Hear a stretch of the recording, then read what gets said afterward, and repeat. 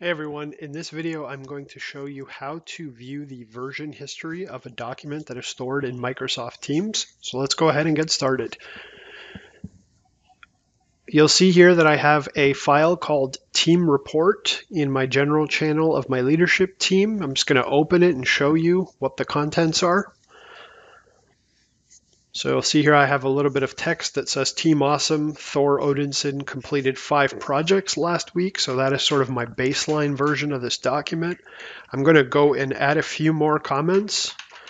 Jane Foster completed two, three projects last week. Okay, I'm going to close this out.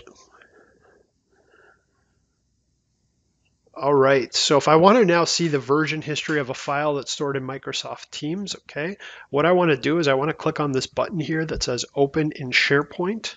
So to view version history of a file that's stored in Teams, you're going to actually need to do it from the SharePoint Online view of those files. So files that are stored in Microsoft Teams are actually stored in SharePoint Online.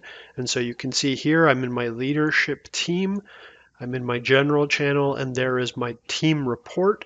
And if I click on the three dots here and I click on version history, this is going to show me all of the history of this file. So you can see here this file was created on December 26th and there's two additional versions. So if I click on a specific date and time, it, it's going to open that file as it was on that date and time. So I'm going to open that second version here there you go. You can see that this is the original file that only had the additional text. And one of the cool features when working with version history is that you can actually restore an old version to make it the most up to date by clicking on this restore version.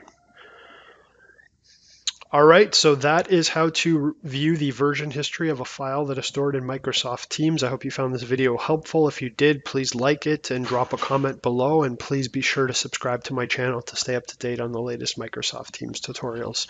See you later.